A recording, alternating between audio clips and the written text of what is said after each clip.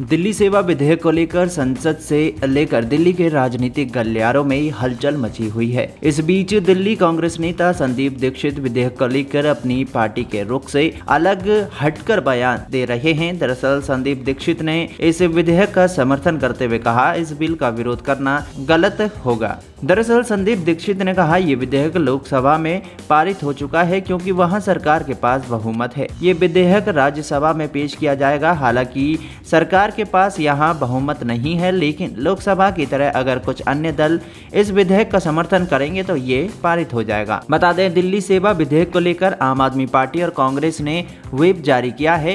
राज्यसभा में पेश होने जा रहे इस बिल के लिए दोनों ही पार्टियों ने अपने अपने सांसदों को सदन में मौजूद रहने के निर्देश दिए हैं। लोकसभा में पेश होने के बाद भारी हंगामे और विपक्ष के वॉकआउट के बाद ये बिल पास हो गया था। लोकसभा के बाद गृह मंत्री अमित शाह इस बिल को राज्यसभा में लाने जा रहे हैं। बता दें, दिल्ली अध्यादेश के आने के बाद से ही सीएम अरविंद केजरीवाल ने देश के विपक्षी पार्टियों से समर्थन जुटाने की जद्दोजहद शुरू कर दी थी।